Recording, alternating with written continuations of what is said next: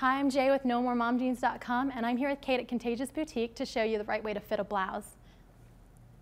Now when trying on blouses, you're going to want to check for fit. Not all blouses are created equally and some aren't going to fit across the front and you're really going to want to check that. The first way to check a blouse is to do all of the buttons and make sure that there's no gapping in any of the buttons. If you've got gapping, the blouse is too small, you need to go a size up. Now the second thing you want to check is the darting. And The dartings should lay flat against the body. They shouldn't pucker at all. If there's puckering, it's also too small, and you'll also need to go a size up.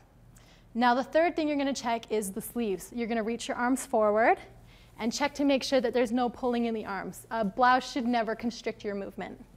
Finally, you're going to cross your arms across your body and feel the way the blouse feels in the back. You, again, you shouldn't feel any pulling. If it's pulling too much, you really need to go a size up.